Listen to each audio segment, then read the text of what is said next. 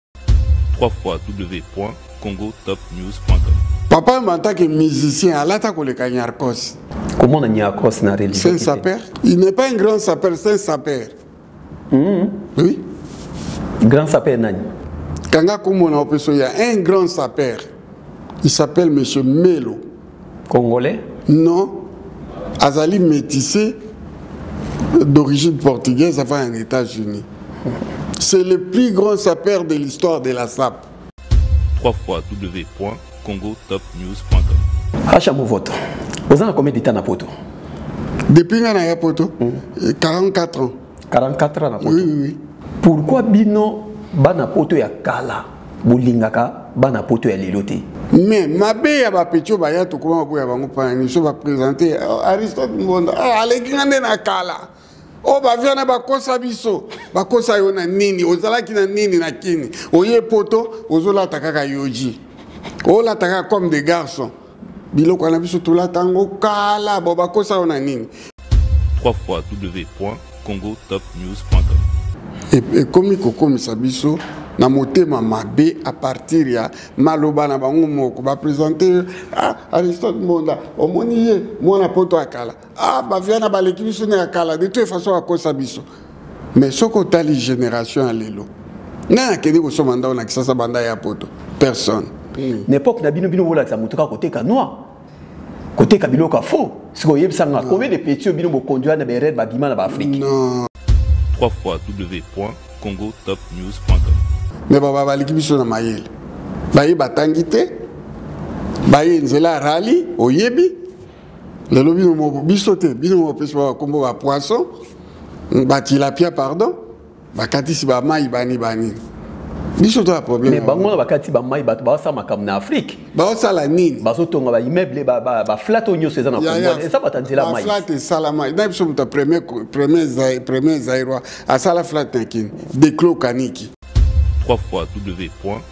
congotopnews.com forme euta na congolais ya brazzaville le mot sap ya bacongolais ya brazzaville ntango ngai na ya poto nayebi solo otala dieu me voit parler la sap c'était bacongolais ya brazzaville omoni weston hmm? mm -hmm. bango bato azali kolata weston www.congotopnews.com biso tolati bilamba na fond français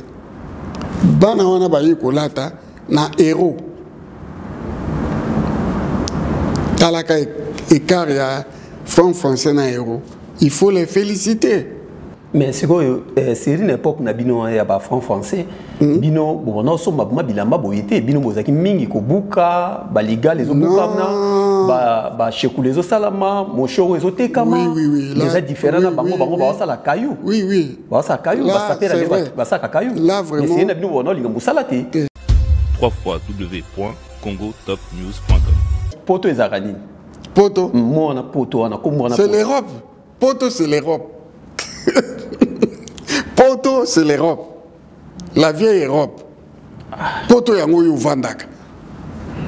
bo bandeko ya turki ah wana ya poto te turki ya poto te ata mokolo moko te bongo grèce grèce ezali poto oyo ebandaka poto doto ba grèce ya poto te grèce ya poto mais ezonga neti na deuxième division ya par rapport na bafrance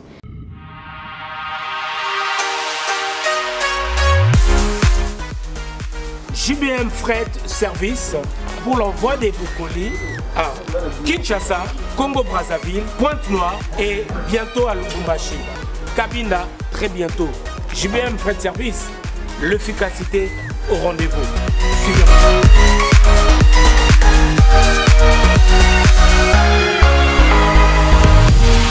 l'efficacité au rendez-vous agence ya sur agence ya nguya agence ya bastar balobi so olingi koli na ekóma kitoko koli na yo ekóma na assurance yaka na jibem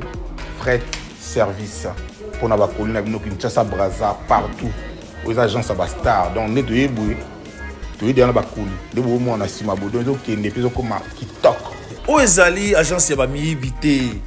oyo ezali na assurance ya makasi meme bakiti meme bafrigo meme mituka soki mpe olingi mpe ndako mpe ekokoma jbm fret service l'efficacité au rendez-vous beto na bango différence yena il y a du sérieux ici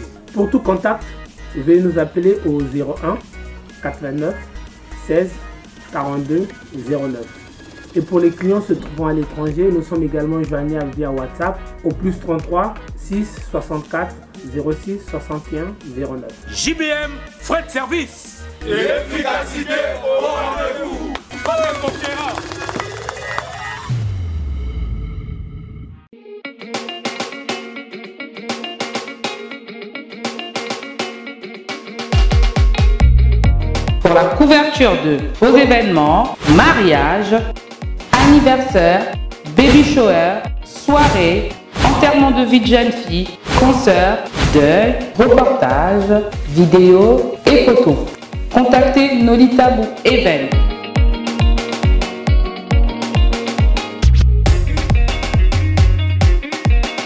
Besoin d'un bon maître de cérémonie et animation pour vos soirées de rêve, contactez Nolita Le Sage.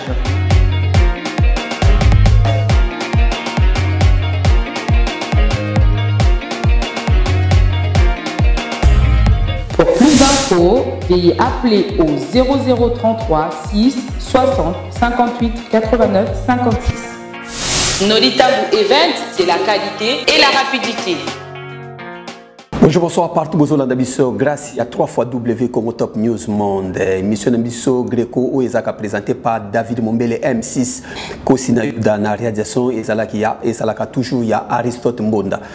tika nayebisa bino toza libanda ya masano neti na congo tobengo toza libanda ya stade de martyr biso toza libanda ya stade de france place émission greco ezalaka toujours bureau ya congo top news monde boyebi ke toza na matanga na mboka tokufeli moto ya monene na mboka mama chalamwana atikaki biso tika te molimo na ye epema na kimia alors nazalaki oblige nayamba moko ya bakulutu na kombo ya Asha Movoto. Asha Movoto boyebi aza vie na biso ya kala kala, biso depuis ba Afrique. Toyoka yoka vie o mingi. Tika na pesa lisusu mbote na mwasi moko ya kitoko na kombo ya Presilia Oba oyo azolanda biso, ye azali muninga ya Ladi la Fraise bazolanda biso lisusu na bosante Kati Omari peselanga mbote lisusu na muninga na yo na kombo ya Bibi. Alors tozali na Asha Movoto. Mpaka Asha Movoto bonsoir. Bonsoir, bonsoir. Euh, bonsoir bebele nasepeli na ndenge nazwi invitation na yo nazelaki yango mpenza nalingaki na passe na émission na yo mpo ngai nalingi lelo oyo biso tokomi kokende la nouvelle génération eye kaka biso toremplaçaki bavie bolowa bonzakwa mpo ngai premier émission na ngai nasala na vie wana lelo vie akei biso toremplaçaki ye lelo eh, shani ebimi greco bino banso bato bakotala émission oyo bolaike donc eh, eza vraiment bajeune ya baye na talent ya sika makambo ya sika Asha Movoto, en tout cas, Topesio d'abord merci. Nandengo s'est déplacé, oui, dans le plateau de la Congo Top News Monde. Bah, fan et belé, bah, c'est là qui, parce que bah, il y a qui est, n'a, oui, en bas, on est, n'a, pourquoi aller l'eau. Tozana Sango, il y a l'Iwa. ya mama chala mwana oyebaki ye oui merci mingi euh, soki omoni ngai na ndimi koloba mpo na mama chala mwana parceke nayebaki ye soki ezalaki neti obenga ngai mpo na tosolo ya likambo ya ya na ngai josa nyoka longo na ngai te mpo nayebi vi na ye te mais d'abord mpo na kobanda émission oyo eh, na kosenga na famille biologique ya mama cala mwana mes condoléances le plus attristé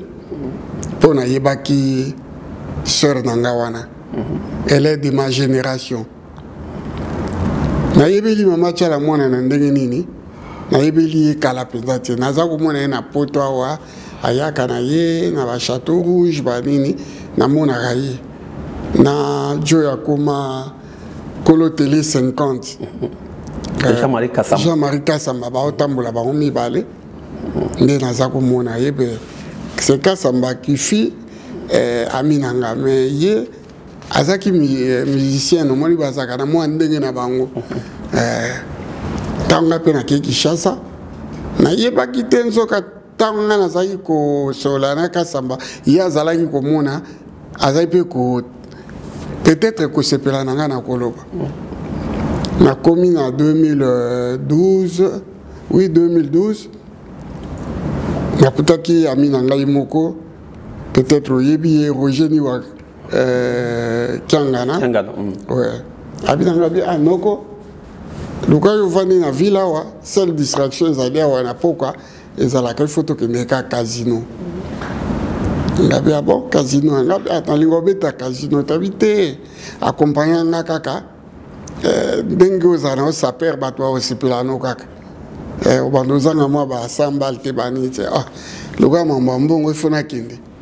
Uh, tobandi koya na casino moko eza wana casino du salut côté ya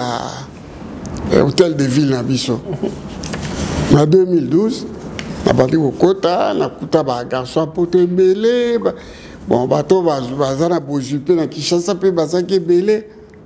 nakanisi quatrième jour nde naye komona mama cala mwana ah.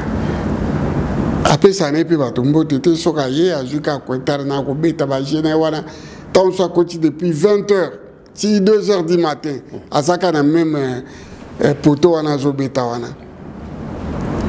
donc euh, nakoba la seule personne oyo azali kopesa mbote wera mpo wera mpe alalaka mpe kaka wana donc ezalaki lokola biro na bango balalaka wana na casino wana mm. alors ngai nayaka natiki barogeni wa babeti na bango après tobina biso tokei mm. namona solani baroger bana tout asola na motu te mm. omona alata bazambala na ye babubu na ye ya chere mais naye komona azalaki na andré secrétaire particulier na moko boye mhm. nde butu ayebisi abi oyebi eh, garçon na te baa na succès makasi ya chamovota bio nayebi ye mais namoni neti bango bana poto bazala na mwa lolendo akota kaka namona ye me ondire apesa bato bambote te o nga mpe nazali kobanga ye mpo ye mpe azopesa bato bambote te diku esali ke jeune na ye wana secrétaire particulier aye koyebisa ngai na litoyono eh, mamu national aleka mpe so mbote nake napesi mbote depuis ce jour tokomba pire donc so nakoti akotika boye na boke mamu national aseki me akende ka na poto na ye wana abetaka baje mosusu te ka je moko wana bon ngai personnellement oyo nazoloba ça n'engage que moi nakanisaki ke euh, sœur na ngai wana azali informatrice mpo ntango tozalaki na kati ya casino bayebisaki ngai il faut faire attention koloba n'importe quoi te eh, kabila le fils atie bainformateur bainformatrice bazali awa batangelaki ngai mwa bakombo ya bato wana mhm. oyo bazalaki wana e nakomaki mpe kosemifie na bango eh, naye mamu mpe ka bonjour na suki wana ndaka ezaki aza informatrice eh, kote mosusu basiko il faut faire attention wera mpe azali informateur mais wera nga aza wenge ye mpe wenge no nazosola na ye kaka mais nakokota na nga politike te nakokritike mpe motu te tososoka makambo ya wenge bon nde tokabwanaki tozalaki ensemble wenge hier ake wenge maison mère ngai nake na jb mpiana euh, bcbg pourquoi osala choix ya jb eh, jb na weya bakabwani azali kose ressemble mingi na nga na ndenge na ngai accoutrement na ngai façon na ngai namonaki ya makila na ngai na ezokangama ya jb eh, ya jb wera moto alakisa ngai jb parce que moi je me suis marié avec la nièce à Werrason. Mm -hmm. Donc, je suis Werrason, pas en tant que musicien, mais mm -hmm. je beau-frère dans Ngaï. ntango azobeta miziki na ye nazomona ngai nauti poto na 88 baza kobeta concert peti yanga moko boye amema ngabi tokende wenge orchestre mesa ya succès bajeune awa wenge na vv center toke concert wana ezalaki le 31 décembre 88 tokota 89 namoni wera ah, obeta miziki ya toyambani ye nde apresenta nga jb me ntango nabandi kofrekante bango ti baye poto nga na jb tokomi kokangama mingi koleka werasoni parce que wera aza moto moko timide alobaka mingi te jb azalaki na ressemblance na makambo ebele na nga Voilà, c'était ça. Voilà. Et si quoi relation amine à un niveau ni parce que au quand ça JB ma qui par ailleurs sous te afina afina comment afina yo au quand ça boire sur la relation bien t'es Non. Oui, question nous a vraiment pertinente mais tant que tu kolaka mutu na mutu asalaka nzela na ye ata yo nde boza ensemble na bakamano bookabwana et je savais qu'un jour tookabwana puisque alingaki na nga wapi alingi amema nga wapi nga mpe nakosala epa jibe te eza pratiquement impossible nga azalaki yaya ye azalaki leki na moment moko boye ye asala chemin na ye ngai natya chemin na ngai natyaki poids na ebandeli ya bcbg nakendeki na ye je lui apporté ce que je pouvais et après asala nzela na ye bon quitte à lui ya koloba ke wana vie na ngai tobandaka na ye parmi bato bandimaka kokende na ngai ye azalaki le premier oyo atombola mosapi ke no ngai nake na jb voilà mais après ça j'ai vu omoni nga bien osepeli na nga quand même non oui nasepeli na voilà acha movoto oza na combien de temps na poto depuis nga naya poto mm. 44 ans 44 ans na poto oui, oui. d'accord yo ozalaka saper nazalaki saper dans les années de 83 mm -hmm. ti ntango nabandi kokola nabandi kosepela na bato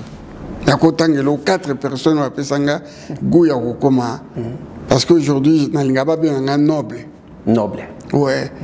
moto ya liboso asepelisa ngai oyo namonaka ye vraiment ke il est noble il fallait nazala pembeni na ye ezalaki jacques mulele mulele mm. jacques mulele aza congolais ya brazzaville mm. vraiment nasantaki azalaki kodégage eloko moko ngai nazozanga nabandi kosaproche na ye ye mpe accepte nga c'est là ke ah, nakopia ye mobimba soki otali asha eza jacques mulele c'est-à-dire natika ye na eloko te après naye kolongwa na jacques mulele naye kokutana na euh, jo moko boye aza ndeko na biso yaya euh, charles kimpiato wayembela nzembo lelo namoni makambo nanu kester moto apresentanga jacques nani euh, charles kimpiato et pour la toute première fois nga mpe nakitaki kini na mercedes mais oyo nga namonaki ya ye laisse tomber tokutanaki epa madova mwana mobutu mhm. ouais. donc namonaki ye deux fois te mhm. ocomprendre mhm. donc euh, depuis wana nabandi kopusana mpo ngai nayoka soni te so nasepeli na yo nabandi kopusana ti nayiba mayelo ya yo nayeba pourkui yo oza boye pourkui ngai nakozala boye te charles kimpiato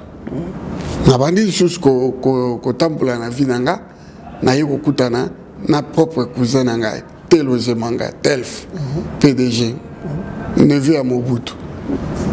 namonaki ye franchement eh, il est moins âgé que moi mais aza na noblesse moko koboya bon c'était la famille je savais que copier ye azala na kini mayaka me ngai nauta poto tozala ngai na ye après naye komona oyebi ye nani eh, eh, gemando noble mhm. moto ya famille mpe ye mpe azalaki danger ti ye nde nalingaka namonaka ye parce que ce monsieur asepelisa ngai depuis nayeba germain de noble que je sali aa na bruxelles okomona ye na basket te mhm. aza toujours na bachaussure il s'habille euh, nakoloba nini à la noblesse donc euh, omonaki toujours bachaussure ya te ke chaussure te yalataka basoulier et il m'avait dit ça il faut porter les souliers nalati oyo prada ezali mpona soki omeki oglise okwei oyo okweisa yo te ngai atambola selon temps mais so okutani na ngai na nzela omona naza toujours na basoulier donc oyo babotie basalaka donc euh, tozwi neti ba john lob ba berluti euh, omoni euh, bachaussure wana ndenge nakende nakota bamaison wana malgré eza cher mais je mabi cher aussi e, est ce que ntango yo oyaki poto elamba no ya liboso nini oyo olataki na miso ya bato takeo kikushi takeo kikush après kester ntango aye poto akuti ngai awa akobeta na na nini na awa abeta concert moko na concert noble alobi na ngai alobi euh, na na maison moko boye baparisien bazolata yoyebi yango te ngai binani alobi na ngai Eh, te wana autaki déjà poto eh, valentino wo masala ata eh, marcel lassance mm. marcel lassance eza ti lelo mais congolais ayebi yango te nde ngai na ye toke ti na marcel lassance maison marcel lassance ezalaka na, na paris 6e nakanisi nde nake ye asombi bilamba nga mpe azali na mwa moyen na ngai moke nasombi mpo na kosomba voilà boye azalaki artiste hein, bango bazwa gauche droite voilà donc nini esalaki lelo lelo na vitesse ya lelo na bandeko nyonso ya baéquipe de france baéquipe de rêve basaper oyo baye génération ye lelo hmm? pourquoi okoka kokota na vitesse wana te batandi osombi batandi basombi omoni oza ozali lelo jeune journaliste hein? Merci. lobi okoma lokwa bamanda chebwa mais façon na ya kotalela makambo ekozala susu ndenge oza lelo te tozwi kaka pole mokende charisme mm -hmm. Tonton.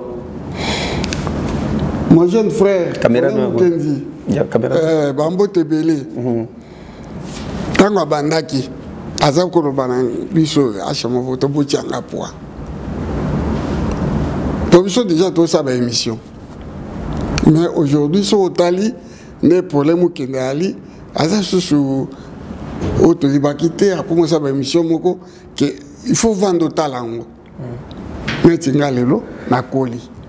omoi ntango tosala no émission nao tosala émission na eh, collègue na yo comment il s'appelle euh, auta angola comment il s'appelle hein? angola euh, nabosani kombo excuse ngai tout tosala émission mo ecartonne fort parce que amoni façon na ngai na osalela émission na nde bato bayaka badiscussion te ngai ayaka na ngai poésie mpo nakoli bapito baya sapere ce sont des grands sapere nabetela bango maboko nayebisi yo oyo ngai nalobi ça n'engage que moi biso tolati bilamba na fond français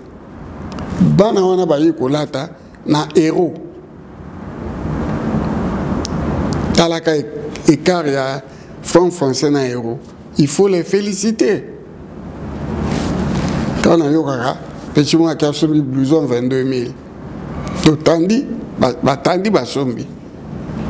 na vitesse wana nabetela bango maboko me ngai nakoki kolanda bango te moi je, je m'habille à la noblesse c'est-à-dire soki otali nga obi tonto azo dégage quelque chose mais ngai na félicitaka bango et petit à petit dès que bakoleka 55 ans baorejoindre nga moi aussi je mettais des blousons bablouson mpe ya cher soki otali 45e anniversaire ya papa wemba il y avait que deux personnes balata ba blouson ya cher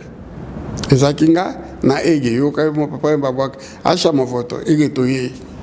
na concert wana bwaka deux personnes parce que ba blouson tolataki c'était pas du gâteau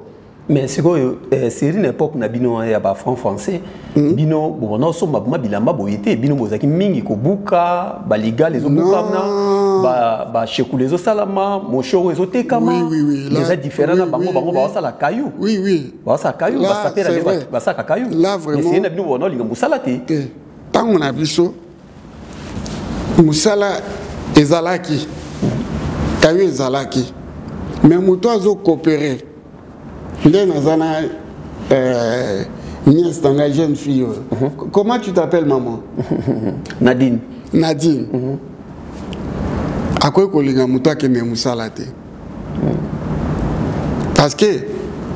elle dégage le luxe nde amona ye déjà aza wana alingi saki ya chanel alingi saka dior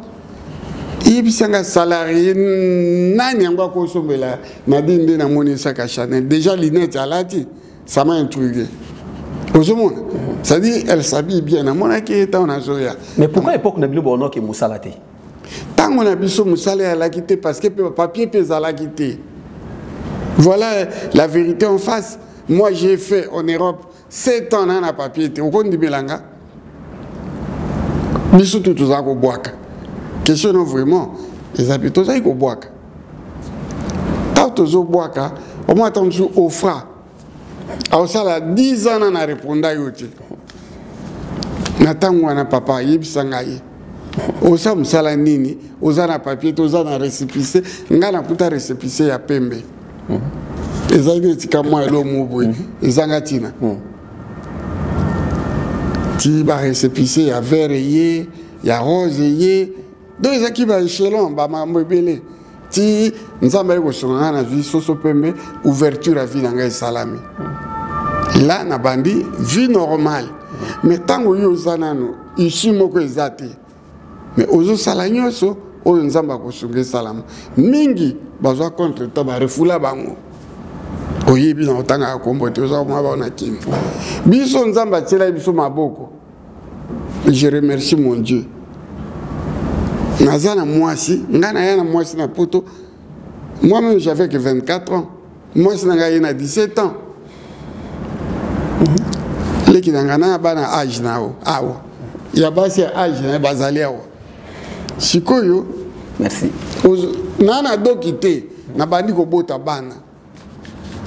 olanda ngai cestadire bana wana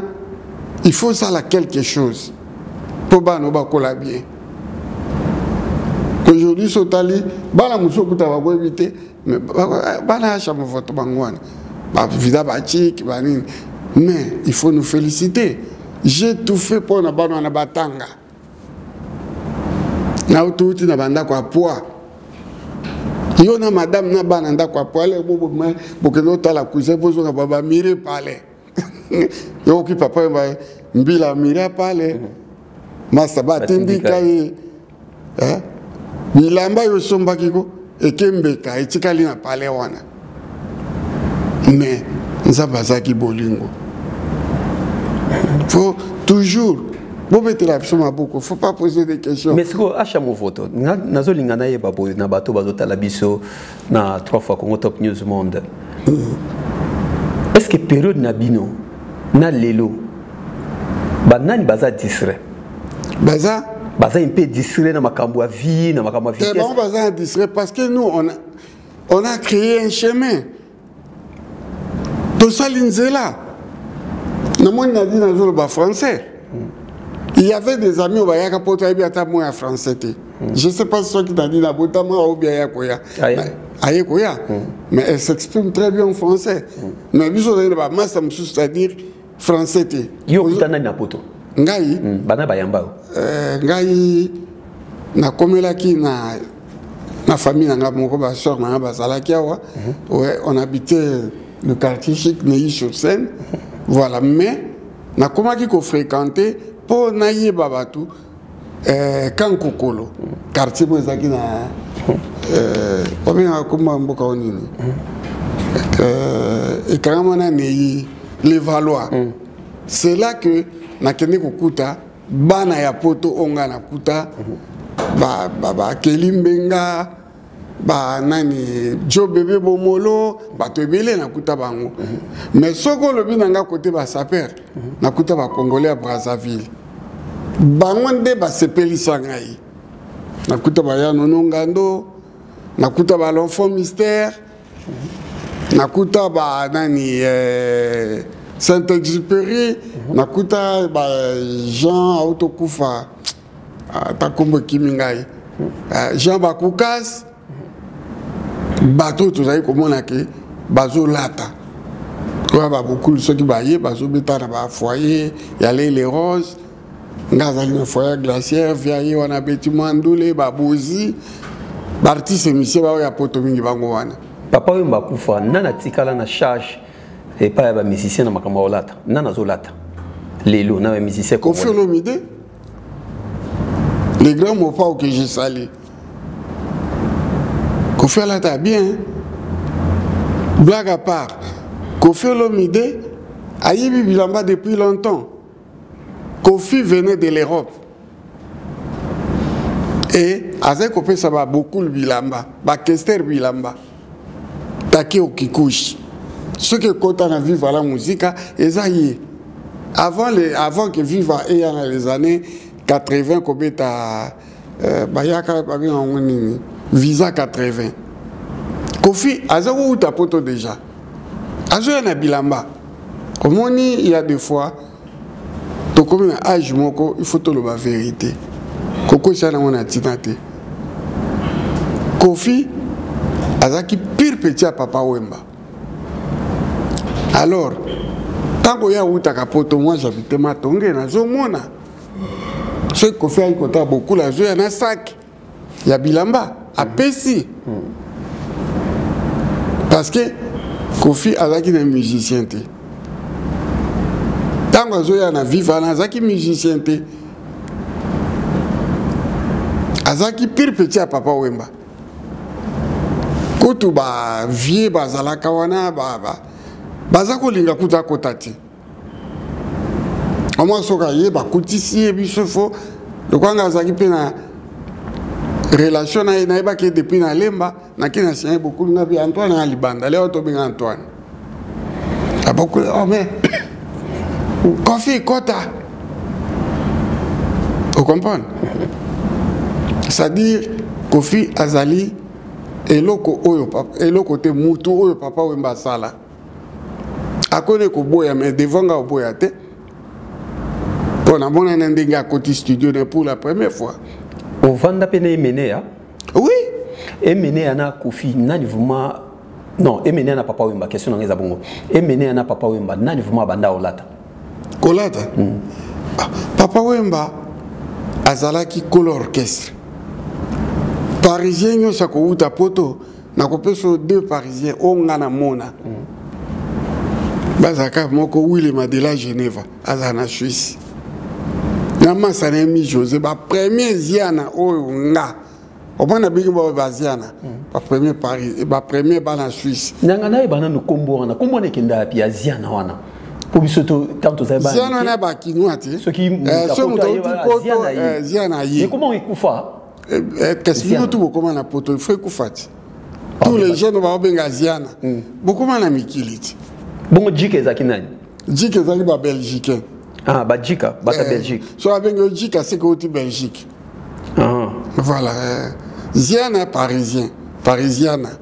Mm. Eh, mpo bato mosusu bazangi na bakombo wana parisiana mm. autaka mpe pari mm. me ngai bato namona mpenzaki aye akotieli bokul forme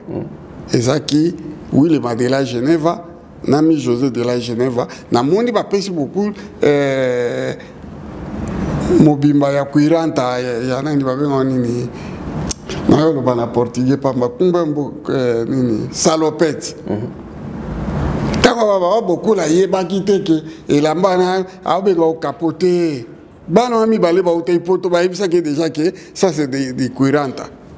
Vous comprenez bato balingaka kodeforme makambo ni josé na wile madela genève un jour okobenga ye akoli hein? Mhm. akoli akozala 70 bilamba epesa yo nini bilamba asha movoto bilamba epesa yo nini non meme bana oyo ya ngai ya age na yo bayebi ke papa na biso alingaka bilamba mingi bango mpe bakoma koparticipe omona soki aza na likonda akendaki amoni plan bien bana poto bino na biso toa ndenge moko ya kolata te bana ngai bakende mpenza basombi ngai bilamba le daron ça c'est pour toi epuis nasepeli na yango ozomona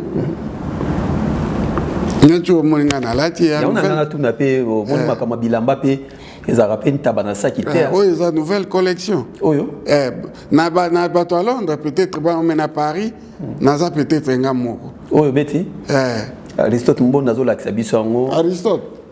okofilme yango donc oyo na paris mobimaka yo moto wana te bankombo mosusu hmm. mais oyo moto abandi makambo ya elamba neti foulard hmm. eza likoa foulard hmm. azali mwana ya star mwana ya star planétaire avant meme ba michael jackson ye motu akomi kotonga elamba oyo omoni ezali na chemise na yango nazalaka mpe na veste na yango mai lokola lewa moko ya malili na prefere natya yoji likolo ocomprendre de likolo oza na yoji oyo eza yoji e ah, asha movoto premier conseil na yo na poto ezali conseil ya nani eh, concert ya liboso tokokɔta biso ezalaki ntango nga na yawa kala te nani eh, joe akufa nani kaya mm -hmm. comment il s'appelle eh, comment il s'appelle kaya c'était qui ayaka obeta wa mm -hmm. nani eh, jamaïcain wana nani mm -hmm. bob marley mm -hmm. eh, abeta wa premier ndule na ngai ke nabimisi mbongo na ngai nake ye deuxième fois naye kokota jamaïcain mpe kaka nani ayaka mpe ntina kini hmm. ah, jimmy cliff après nde le vieux na ngai lenkuru aye kobeta awa na soki oleki république hmm. abetaka concert ye na jo moko akufa donc tous les deux baakompagnaki ye bakufa ezalaki spray ya adora na petit aziza mm -hmm. wapi nake nakoti concert ya congolais eh? babwaki mpe nga bokul mpe avie na nga quartier ezalaka ya solo asha movoto yo moto obanda makambo ya libanga oui bazalaki kobwaka yango mabanga ma ezalaki ya mbongo te mm -hmm. ocomprendre mm -hmm. un jour modogo ja franco ferre professeur mm -hmm. que je salue biso ozalaki na foyer glacier foyer glacier nde ezalaki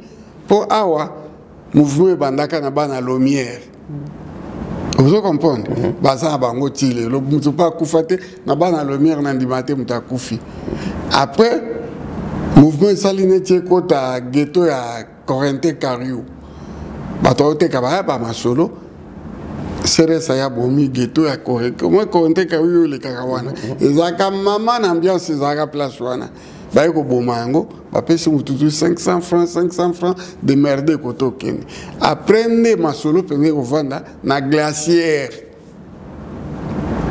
foyer ya glacière epa nazalaki et surtout dans ma chambre mais ce que libanga yo banda libanga nde nepa bon nazopesa yo lisolo ti ntango hmm. kester aye ayaka mpo asala eh, album bon ayaka asala nzembo ya wilo mondo na elanga tolona hmm. mabanga ebanda wana moto akosa yo avant ezalaki te mabanga ezalaki na kobwaka yo mais chez mon frère peut-être ou bien barelation mosusu même ya kosa abwaka bato na apo euh, mais sans ya lar mais sikoyo ntango yarkos enani kester aye modogo jafran kofera ye na epa na biso mpo kuna toza kovanda ngai julien mbala Kens Umberto, Jerry Masele na ebele ya ba jeune bayaka wana. Fere pe Modogo ayaka pe wana. Ba kike wing bato ebele pe bayaka epa na nga. Mbala moko ya lobio moni ba musicien bayaka boule ya Modogo. boule na ngai te bamisie bayaka bazongaka maboko pamba bazongaka bien te mais kingi azala lokola moto ya liboso ke tozokisa ye bien fo tokabela ye baplan balikonda apeye mpe car tout ça basololaki entre bango na bango modogo moto abanda eloko wana modogo moto azobeta lisolo hmm. toza bapetit ah bon ngai naloba kaka par hasard bon ah kester ngai naye toyebani depuis longtemps tobana veni moko na pépinière mm. bon eh, biso tokangisa lolar ndenge bolobi yo bwaka biso mabanga libanga elingo baso babambi libanga esala nini evimbisa motu mm. alobi ah, olobi nini ngai te biso mpe solar yo bwaka biso mabanga mabanga ebandi na banzembo na mi mibale wilo mondo wilo mondo asombi nzembo mobimba esalue ye bon aza na ye na elanga tolona nde boyoka bakombo ya bato ebele ebele ebele banda wana apres wana nde bakofi bapapa wemba ekomi ke opesi moyena mais kester abandai na 300 300 francs français mm. moto nyonso oyo akotaki na album na ye 300 francs français mais ngai nakota te pourkui nayebi otuna ngai question mm -hmm. na baparent na ngai balingai bandima makambo wana te nayelaki makambo ya mabanga te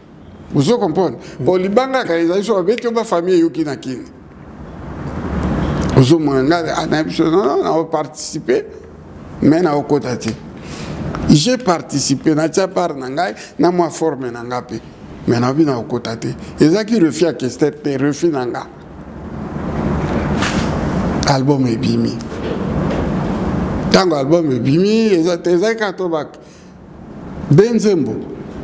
ekoinside mpe nga mpe na kekini bato azwaki mabanga na kati mais laisse tomber bawilo mondo banise pedro il faut oh mais faut mona bato do libanga ko lelo eleisaka bamusicien eleisaka musicien moko te asoma ndako na mbongo oyo bafutaki ye puisque agayaki disque d'or to ateki banzembo te to esalama na mabanga ti lelo oyo biso mpe tozolia grâce na mabanga so totali bacollègue na yo bajournaliste ya kini soki auti kobwaka 10 personnes na mpo kolanda ba 10 personnes wana mpo mhm. akende kozwa parti na ye mhm. donc ngai naloba yango par hasard kester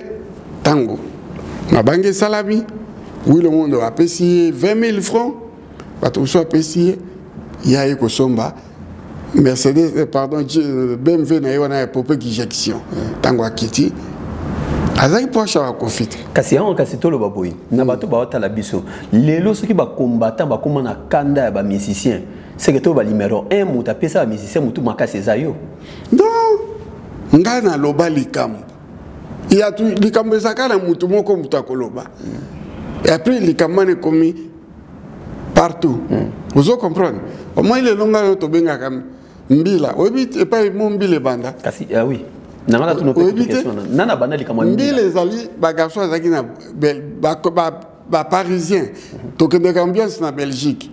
alors ntango wana mbila ezalaki na ba fourgonnette moko boye neti bakombi eh?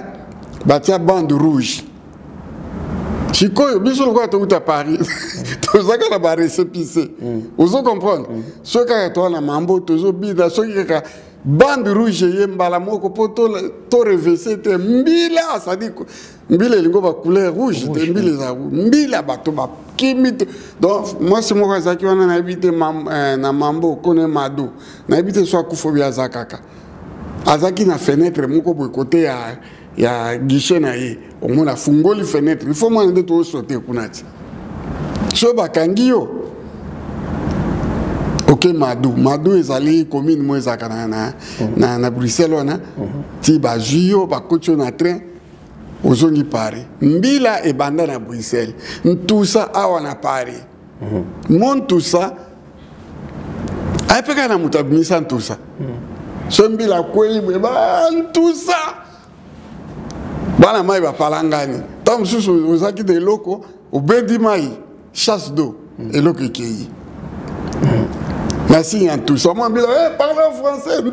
bino bokosukala ntusa ntusa mbila aokomprendre te mpo bakomaki koyeba mbila alors motu moko mpe akrea ntusa azali neti mwana abimisi mo moko eh, ke eh, mpo na bajalour mm. eh, abimisa mu moko boye na lingala na, na kikongo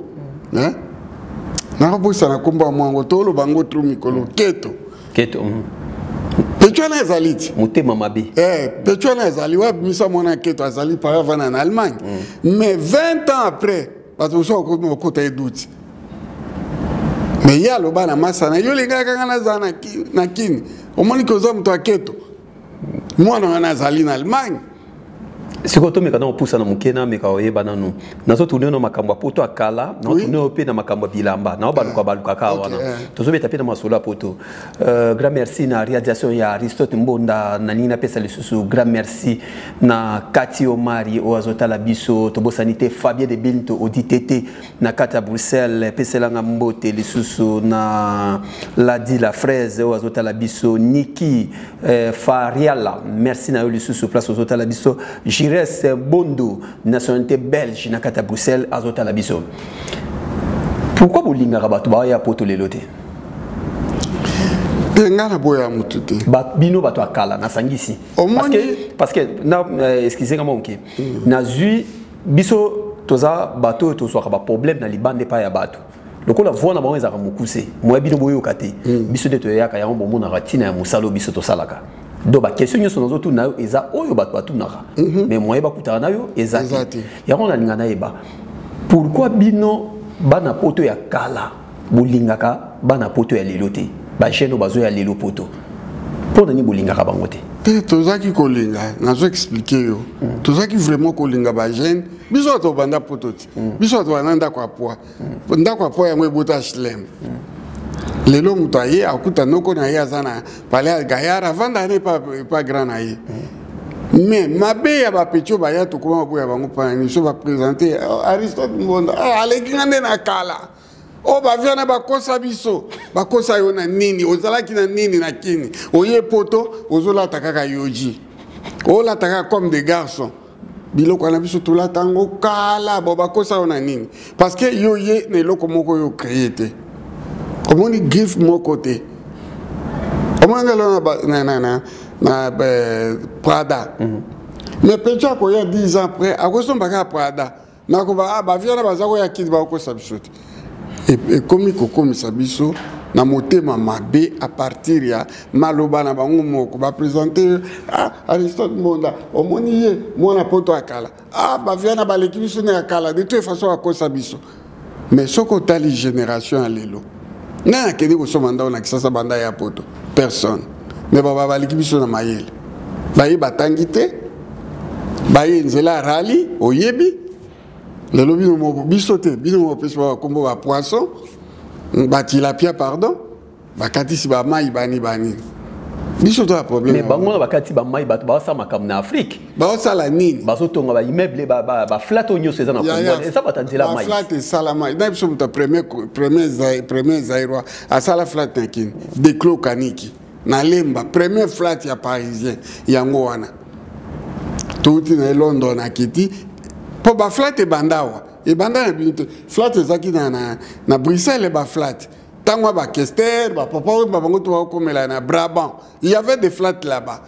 sikoyo bapesi bazo baza ke flat eza eloko ebanda na poto na bruxelles y avait des flat na gare du nord wana omoni gare du nord ya bruxelles to wana ezalaki ya flat siko mabe oyo bato ya nzela ya makolo baye ubie bandeko baye poto basali nini mabe nini bango basali basali nini pardon nani bolingaka bango yokana bisa yo pona ni jalousie na baleki baoya poto nalobi eh, excuse nga mhm. nga so nakei kini nakende na gombe epa na nga chez moi awa na poto mwana na nga uti ofilme ndako mpo bato mosusu bakesa blage afilme ndako oyo biso tosomba na voreal nakozala jaloux na jeune na nini parce que okuti mbongo eza te nde bino boza mbongo eza te ntango na biso y avait l'argent excuse nga mokolo ngai nazwa soso pembe na rappele yo bapesa ngai frais d'installation alors ke ngai nasalaka déjà masolo donc nazalaki su na besoin ya lara motu te mpo nazalaki déjà installé na mwasi na bana mibale j'avais deux enfants à l'époque houston et macosis bazalaki mibale mais ntango ngai nazwi soso pembe bapenga frais d'installation 15 000 francs français ayebisi mare na biso mbela yo voiture souvenir mpo tosouffrir trop mare asombi premier voiture na ye toza jaloux te mais nde insolence manque de respect ngai na ya na ngai nyarcos tokozala na écart ya 3 ou 4 ans seulement écart ya age cestadire toi génération moko mais azalaki ntango mosusu azwa epai na ngai peti bosalaka mulemule eh, poulet fume banini mpe azotindaka bino hein ya ya mais lelo oyo omona mpenza moto ekoki obota ye otindi aboyi nauti komona jeune fille moko na na ntango tozalaki nazalaki na lwanda nakendaki lwanda famille na etindelaki ye mwa makoki mpo aya poto ngai aye azolenga oh na luka viasha eh bwena bwena ah ok merci babengi ngai na bimi ah eza yo ah, nazwi babiloko naye napesi ye banda wana peti aya poto ipaka alekaki ka banzela yango ya bango bacirki akomeo nakuti okutana na ekala te na matanga peti zwela ngai maboke obika bude boyebisaka na kolinga ye ndenge nini otango ye ayaka kotala nga nga nayamba ye napesi ye koli na ye gentiment nazwi ye comme ka biso wana mpo toza habitude moto aotala ifo bimisa ye na coin nake mais ye nalobi na ye kaka ngai naomela eh, babengango ni tonique zwela ngai tonique namoi mpenza abude asali no pas meme une année na poto mais abandi déjà koboya bato eloko toboyaka pretre landa ngai koboya bato koboya motu te oyo okuta bato bakoli te on a la soixantaine lobi tokokisa 70 ans nakokoka no lisusu te je, per, je perdre toute ma beauté beauté na ngai yango wana ekotikala epa na yo ah via kolie via komotambola na kane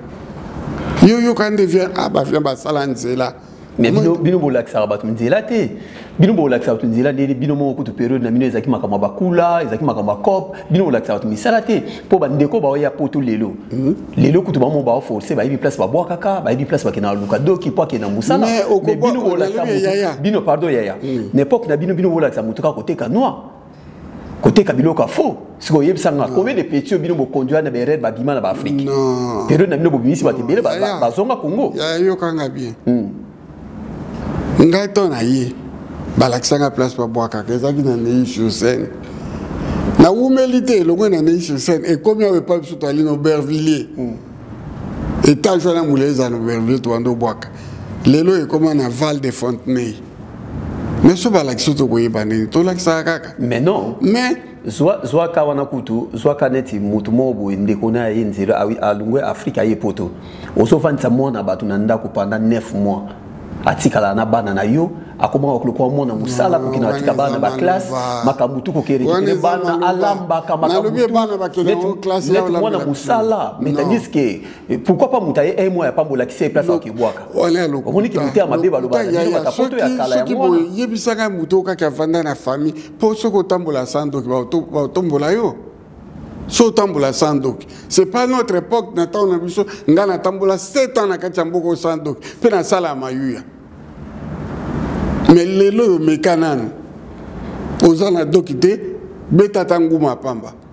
me biso ntango na biso nabeti mpenza nguma bobu na sote na mwa baseres baotala nga babengi nga mpe o oh, pourquoi ta fait ça je dis mais j'ai pas de papier je travaille pas et tout batiki yo mpe yo wana okei acha movoto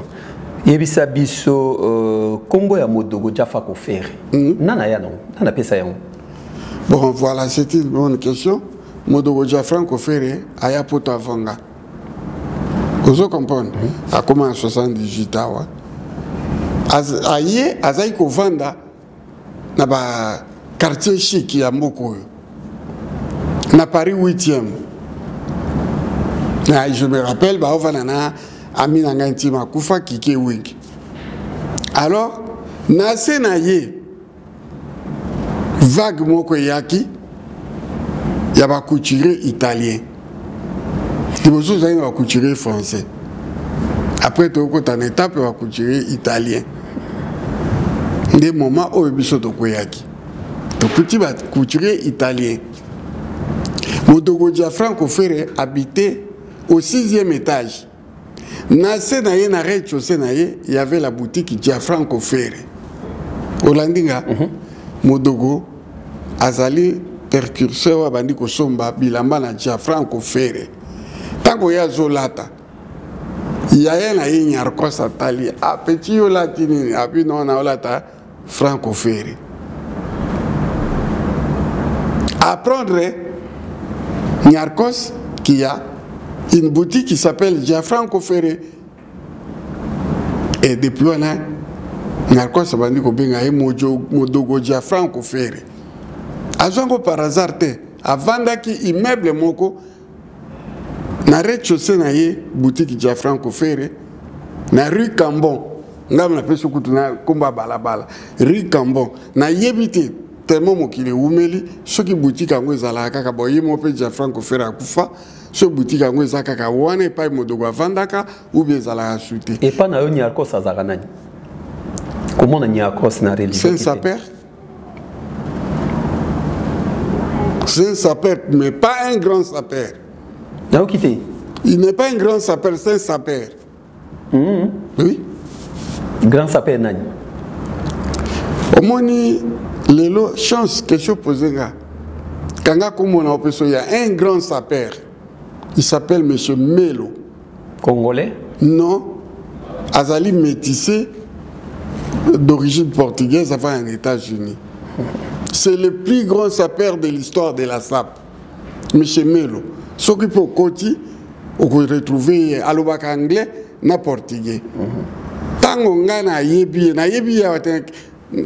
balekisaka ye na nini na baémission na nini na mboko nini luanda na tpa nde naye koyeba ke il y a un plus grand sapeur avant na na états-unis monsieur melo tokozala na ye age moko nasala effort ti naye ko atteindre ye explike ye nazalaka fanatike nayoka nde toflata bato ti mpo ngai kota nayoka ya soni te papa papa papa na baanglais na ngai ya bongobongo bana mpe baloba portugais mpe bazoyede ngai namoni a répondre oh boboboe tokomi neti baami azokomela ngai na portugais oubien na anglais anglais ngai mona azomona portugais bana bazore mpo na ya bana babotama na luanda natindela ye bafoto na ngai ye mpe atindelanga bafoto na ye mais ye aza le plus grand sapeur so tuni motu to en états-unis babiso jo wana abeta forme na ezna kindoki parce que kuna babutike ya danger ezali oyoka babenga 5e avenue c'est avenue ya bilamba neti awa champs élysées wana états-unis états-unis est ce que na amérique basape bazalaka bazali ko ya bacongolais na bacongolais ya bacongolais nayebi te ya kotanga bazangaka te bo na canada na canada mpe moka otaki kokomela nga mikolo oyo nabosaki komona bi ye aza grand sapere na kati ya canada nayebisaki ye nga bi bon eh, tindela nga nkombo na bafoto ba na yo ntango ngai nakosala eh, proclamation nakotala niveau nini ngai nakoplace mpo alingi akota navanda na canada na, na, na toronto ayebisangaki ye aza mpenza saper ntango mosusu batonga nalobelaka baotelema na ye te ah ouais? nde ayebisaka ndenge wana kutu bino mbale boye greco nayebola ndangi na, na, na epa na nga est ce que états-unis na canada ezalaka poto oubien eza ba grand monde olobi ba grand monde mais différence nini eza entre grand monde na poto bango baza outre atlantique outre atlantique bango bazalaka kote mosusu hmm. biso awa babengaka biso vieille europe to bango tu bauta awa so otali la plupart baaméricain bauta irlande baza bairlandais bauta euh, grande bretagne bauta france ozomona baneti ba louisville baloba français de génération en génération on comprend bien états-unis na bacanada baamérique wana nyonso eza poto te euta eya poto mais bawuta nde awa omati ah. babenga biso vieille europe parce que bango tu bawuta awa ya lokola afrique du sud mindele oyo bawuta europe te poto ezalaka nini poto mwana poto wana komwana c'est l'europe poto c'est l'europe poto c'est l'europe la vieille europe poto yango oyo ovandaka bo bandeko ya turki ah wana ya poto te turki ya poto te ata mokolo moko te bongo grèce grèce ezali poto oyo ebandaka poto epai bato ya mayele tu bautaka kuna ata onasis Eh, ata kombo topesa eh, stravros niarcos mhm. azalaki grec mhm. armateur bato bazali na babato na bango bakende ba états-unis bakende kosomba ba essence bape eh, bato bazalaki bariche wana hmm? doto ba grèce ya poto te grèce ya poto mais ezonga neti na deuxième division ya par rapport na bafrance eya neti tala exemple na lobaka oyebi bato bayaki epai na biso na ebandeli mm. tu bazalaki baportugais mm. eh? mm. balivingston banani bauta na portugal mais lelo espagne ezala poto espagne ya poto italie eza poto italie eza poto forme euta kuna yaya forme omoni oforme mm. ah itali ko soki obela liboma ti différence nini ezalaka kolata na bino bolataka parce que biso tiaka na biso soin biso tiaka propre mm. euh, bino nde bato bozalaka basaper mpo biso ozalaka na greffe te biso tiaka na biso biso na baresorte mbonda otyei kaka bien oza propre na miso ya bato bino bato baa basaper différence nini ezalaka elateli ya boye na ya congolais ya braza forme euta na congolais ya brazzaville le mot sape ya bacongolais ya brazzaville ntango ngai na ya poto nayebi so lelo tala dieu me voit parler la sap c'était bacongolais ya brazzaville omoni weston hmm? mm -hmm. bango bato azali kolata weston biso to tokoti weston naye ko differentier place wana bango azali kolata weston ya ba eza na nini boye omoni biso bacongolais tozali kolata weston moko babengo cravate ezalaki ya verni bango bazofinga biso congolais mu weston zairo mu verni au comprendre mhm. c'est-à-dire bango bazalaki na avance na biso na mambo ya bilamba biso mpe tozalaki na nkombo ekimi tobenga bilamba na ndenge na biso na kini mais bango la sap savie ti lelo bacongolais ya brazzaville moto alakisa nyarcos kolata ezalaki congolais ya brazza nyarcos azalaki na connaissance ya elamba depuis ba braza mpe kaka po nyarkos fréquente beaucoup yango nani nayeba azalaki trop braza eh, ata bakala soki tala ntango ya kala mpo ozalaki mwana moke soki moto auti braza azali kozala propre koleka moto ya na kini tomona zairoi kaka zairens auti braza mais soki otali ye ah alati spring cour alati pembe pembe to botali lokola moto auti poto nzoka auti braza okomprendre yango sikoyo différence nini ezalaki elateli ya niarcos na ya papa wemba papa wemba na niarcos ne fait qu'un bazaka eloko moko bazaka eloko moko mais papa wemba en tant qu'artiste musicien ye alata koleka niarcos nayoki te papa ma tant que musicien alata koleka nyarcos mm. oui okay. question tuni nga mm. nazalaki na poto mutakosa yo te nazalaki awa omoni nga roisi 2 ezala te nga azalaki na ntango ya roissy 1 tanga na yawa y avait que trois stations pardon trois lignes ya métro rr e ezalaki te ozomona soki na biso ce qui est vrai nyarcos aye na poto na 77 moto aya kobetela lisolo lisolo te foto na ye d'abord ane yaya na 77 nyarkos aye akwei na oyo azalaki mpe na bato bayambaki neti ba jérôme montingia na bruxelles c'est un avocat je na salue papa jérôme montingia proche ya kofi olomide un intelo bayamba nyarkos nyarkos amonaki ke bato ya belgique ba bato balingi chiki akoti panama paris na 78 akutaki na bato so na bino atanga baza ebele mais akutanaki na bamasta na ye bacongolais ya brazzaville bango nde bato amemaki na weston bango bato amemaki na babutika ya bilamba mais lokola zairo azalaka esprit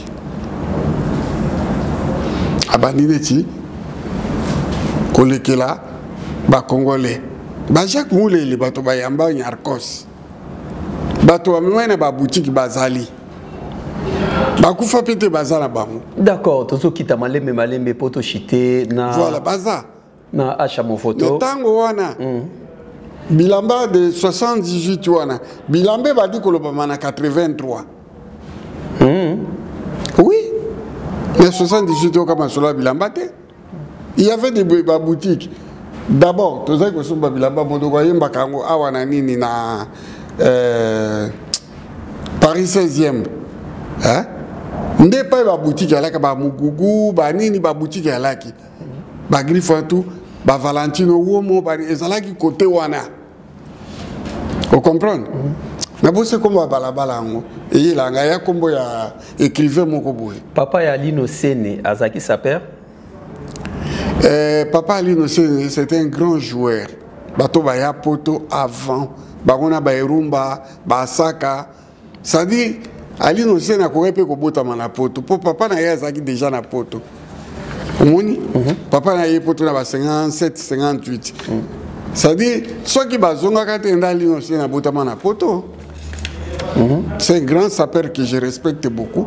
na génération tala nanu caméra na biso na génération ya lelo hmm? na ba jeune frère na yo baleki no nyonso bazobeta sape awa na poto toti hmm. europe mobimba natiaka europe mobimba natiaka ya paris te hmm. europe mobimba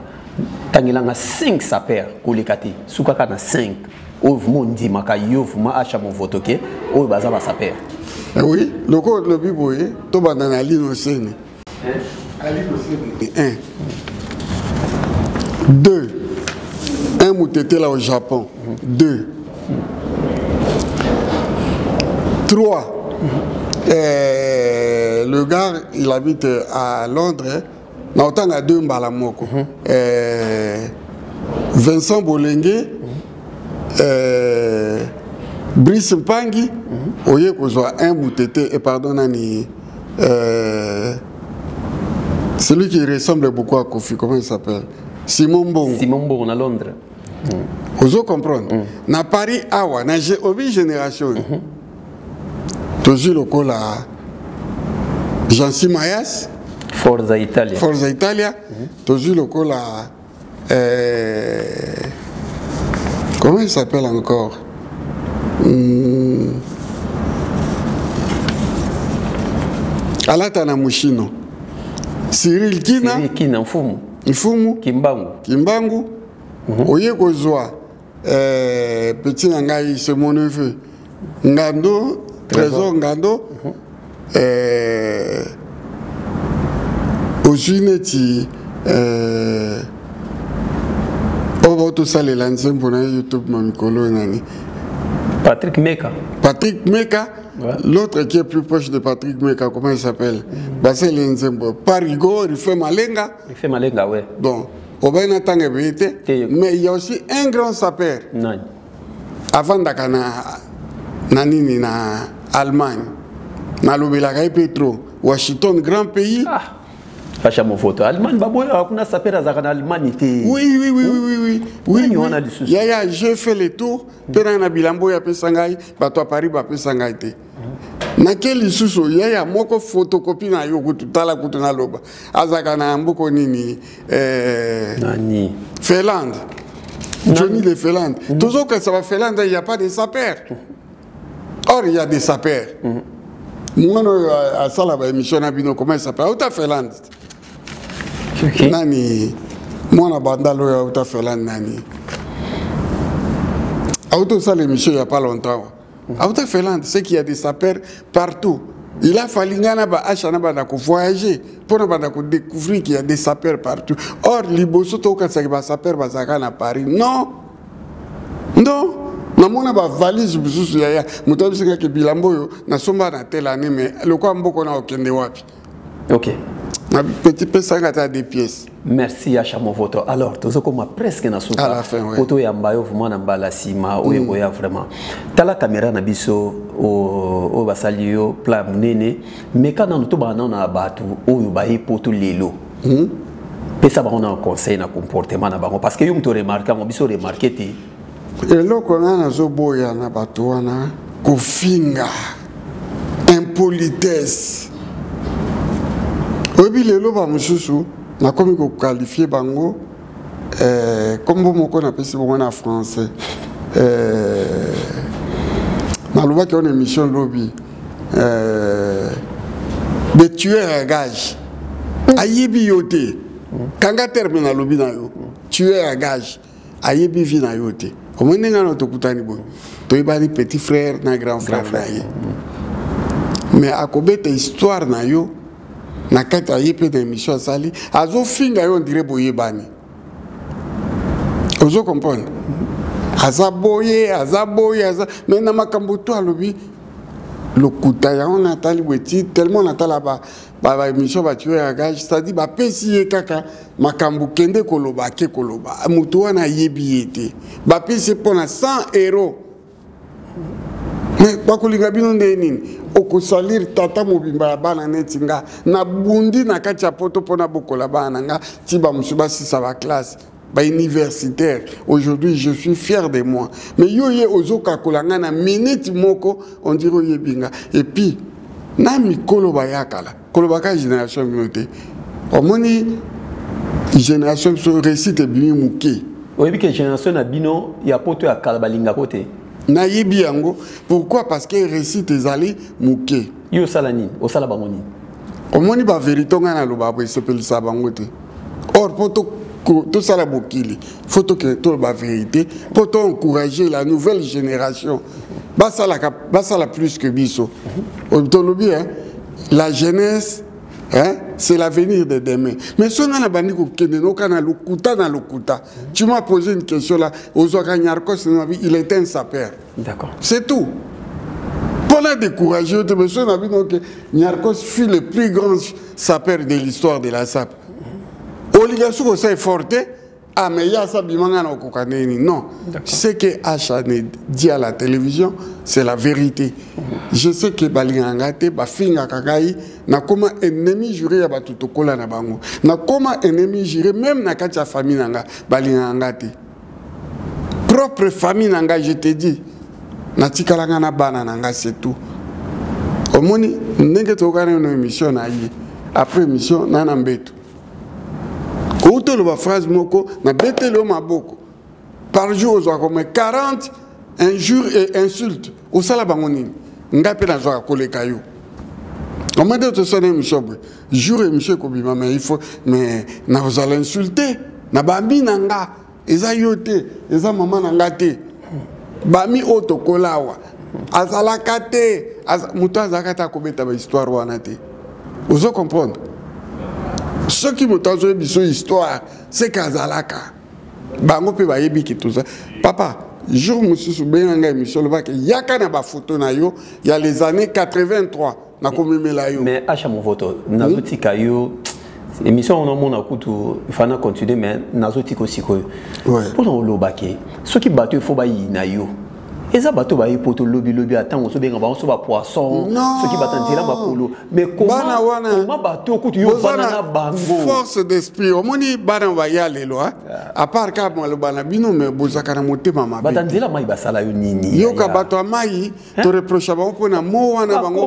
yoka bautilisaka mo moko soki opresente ye hmm. ah, anode ye yo te oh, aleki nga nde na kala mais bino mpe wana oboya bato kala te te biso oboya motu te parce que ngai yoka nga nayebisa yo ah. hmm. nazalaki saper banda kala hmm. ozo comprendre nga na na bilamba moko eh? mm. bachambre na ngai mosusu ezalaki likimo mpo na bilamba epa baniese na ngai bana bilamba oyo nabombisa kuna sans compte oyo bayiba ngai ntango nakendeki eh, campus université ocomprendre université nazoloba mm. bon ntango nabima boye tellement ezalaki nawumelaki mwa mbula ebele bakabola bilamba oyo nakutaki nakuta oyo nakuta mpe te nalanda mpe te eh? oyebi kaka kao kokorobo eloba verité tout ya poto yango wana ezalaka na nzembo ya kao kokokorobo soki ovandi ah, moto akoma nzembo wana nabangaka ye makasi nanga nayeba ah, tokomi na biso presque na suka nanga nayeba deni question eza mpo opesa bato na yo bambote ligala kaluji wana na nzembo wana babuki mm. ligala kaluji na ya kome ba plat il fallait na telema on na ndule mbila mina pale ezalaki histoire mobimba histoire moto wana aloba vérité sauf que na corrige kaluji azalaka na butiki te aza otya biloko na babutike ebele meke oke mpenza ke ona ke butike ya kaluji mm. non ngai ntango naosomba bilamba ya bablouson ya kaluji mm. naosomba yango na bruxelles ozomona boutique moko ezalaki wana nabosana komona yango na, na, na galerie mm -hmm. eh, eh, voilà kombo ekimi ngai kaluja aotya mwa biloko naye mpa baitalien eh, baitalien mpo azalaki na baligal eh. ya comme moto abukaki yango comme des garçons garçons ya comme donc comme des garçons ntango akala comme ezalaki awa na nini na bobandaki kosolola na bateme mingi ya jo wana ko oyo akoma nzembo wana kaokoko koobo namonaka ye lokola nzambe eh, naokaki akoma aveugle me akomi komona mikolo oyo azosenga napesa biso nguya eh. siko nguya nayo nasenga mpo babuka babuka baliga mpe bino bosakana na poto nalobi na yo bosakana na poto nalobi na yo baosengela yango epa nzambe baosengela nzambe pesa biso nguya bare bazembezembe bantusa esprit esprit mpo tobuka balegale ozo comprendre veoyebi ke bino bosakana na poto nzembo wana ko nazata mosusu oke nayoki yango ile maneke natali boye mpona hmm, touti mosika papa oyemba ere ayemba nzembo ya bongo ide nde ezalaki azopousse génération babuka balegal ou bien message nde ayaki papa oyemba hmm. quand on dit vive à la musique ezalaki esprit bomba nasuki wana pesa bato nombo te bokosala lisusu lisolo ya boye na prochaine émission merci ouais. pesa bato mbote tobombi lisolo ya eh, d'accord omoni lisolo ya eh. kakokoko oyo bonzembo wana bato ngai nazobwaka oyo hmm. asho moboto liste oyo kanzi owela akota ona martyr e baobeta liste yango oh, liste molai boye liste oyo hmm. omoni ngai moto afutaka ngai aza te hmm. nde nasala baémission nasala gratuitement napesa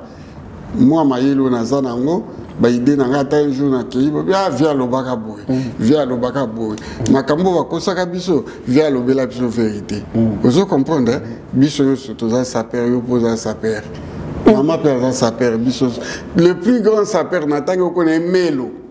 avant na États-Unis ça dit ye hmm. ce qui collection bimi ba pesa ka ye ko pesa azo ya kutu awa na février aozalawa na zo contact na ye japonais moko azofungola ligala awa bafuti ye 550 000 mpo ya kosala publicité ya ligalo ya formane ezoya masolo oyebi ke nazali na masolo mingi abeta nayo me ngonga eza ngonga nomema efale nayeba pourkui dadio abengaki yo te ere basala clip ya ambassadeur parce que basape bayaki naza makambo ebele ebele deme meka ofandisa bato tobeta lisolo wana hmm. bon eh, bandeko ya bolingo nabangi ewuta na ngai moko na na droit ya kobwaka bato na ngai oyo bolinga bolinga te mm. soki moto mosusu oyo alobaki nga te yo te asha yo te obimisa mabanga ngai na bimisa aya kobima mm. aloba mpe ane apesaka mo libanga me ngai nayebi bula napesa libanga bato mpe bayebi ok merci bien mpo mm. eh, na kobanda tozobanda na ba bato oyo basungaka ngai mpenza neti washington grand pays na kati ya munich papa bambote ebele vraiment ta beaucoup fait pour moi ozo comprendre napesi yo bambote ebele euh, un motetela au japon celui que moi j'appelle ya willi opelela bambote ebele mambo de dublin oyo asongi omoni ekotinataki asongi wana eh, comme comme de garçon mambo de dublin moto asombi ngai ekoti wana ayebisi ngai vie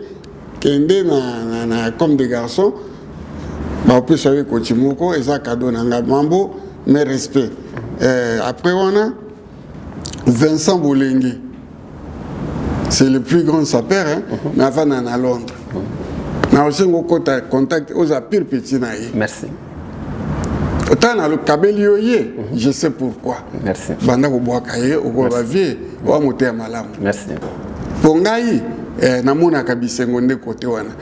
napesi yo ye nga nakabeli yo banda lelo bwakaka le plus grand s'appelle vincent bolenge vincent bolenge voilà mm. ye napesi yo ye nga napesi yo ye d'accord okomona akobenga yo ok mm. bon après brice mpangi wana oyebi ye vie na oyo ya de temps en temps oyo ya mpangi mm. après wana godard kwanza le full mikiliste mwana matete mais mama na basapere bato wana ifo kaka bakombwa nga bwaka moto oyo ya bongobongo te bwaka nga baza mpenza ke obengi osepeli hmm. zingo de la kwanzela mwana matete grand frère ya, ya, ya, ya godard kwanza bambote belifeli ko bilele de, de luanda à paris ya za ba boutique d'habillement aza un grand habilleur quoi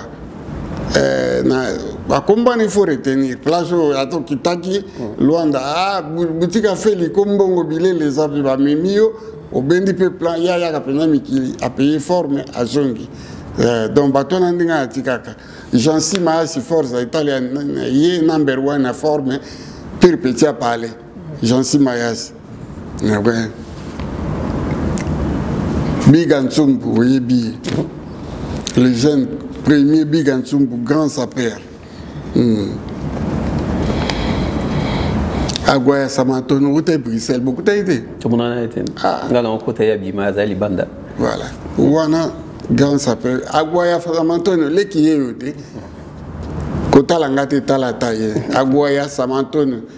okomi moto apeti na ngai mpo ozalaka azalaka na ye hmm. ive dimbambu na katanga pire petit ya pale fils edungu génération na yo kambote ebele carlos sumbu na angola grand journaliste neti yo aza journaliste kuna hmm. tokoti epai ya bamama ah te nabosani de garçon eh, wana mosusu ya mwana na nga age moko na yo mhm. mais akoma kolinga mabanga hmm. le pape mwana akoma akoma pape hmm. le pape de bretagne hmm. le pape je dis na répété le pape de bretagne mwana nga mbali donc eh, wumela merci beaucoup hmm. akoti na bana basi la reine de lille meda mukuna bambote ebele la première dame de la louvière ya ladi ntefu na mbali na papa jean jacques bambote ebele eve bolebe autrement dit bols sukali mwana liège bambote ebele blandide bomolo babu bambote ebele naomi midon journaliste na luanda bambote ebele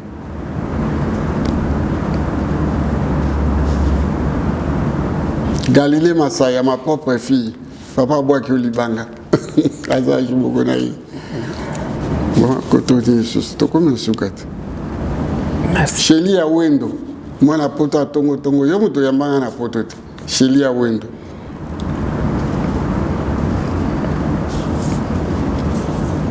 Sisi. Oui, tokomi te suka na mwenene. Cecilia. Ouais. Nisa wa Yolande, la mère de mes enfants, pour na Léona Sukiwana.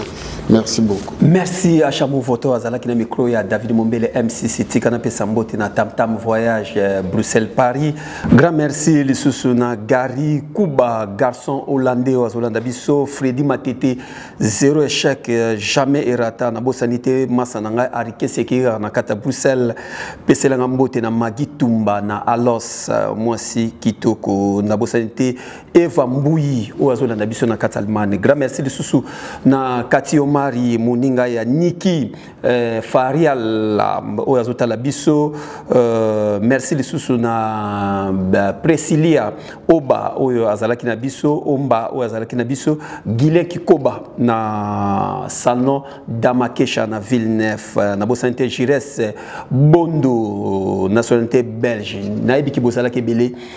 bolandaki émission avec bokebi nyonso na réalisation ya aristote mbonda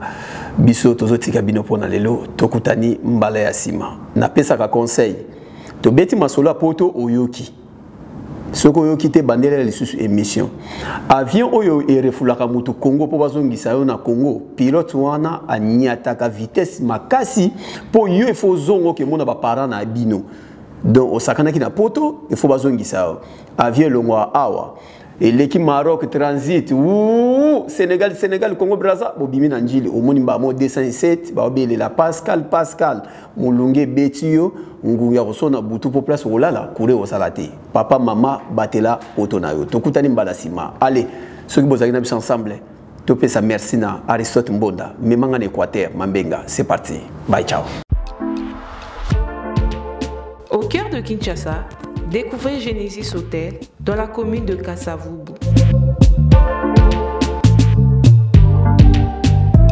Pour un séjour agréable en République démocratique du Congo, pour votre plus grand plaisir, passez un séjour merveilleux avec des nuits inoubliables, des chambres climatisées, et spacieux, balcons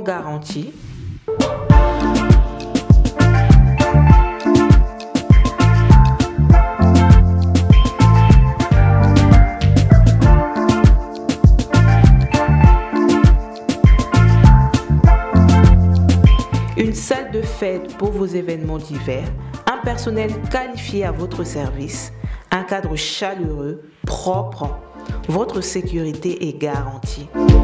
Passez de bons moments dans Genesis Hotel.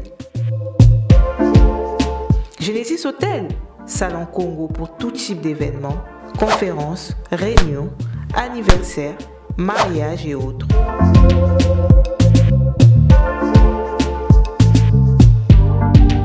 Nous sommes situés au 8 avenue Kandakanda, dans la commune de Kassavoub.